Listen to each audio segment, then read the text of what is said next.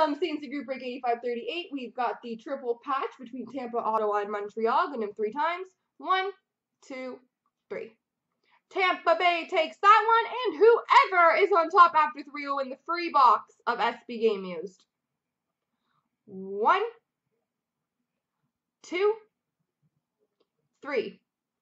Steve Obacci, congratulations, sir.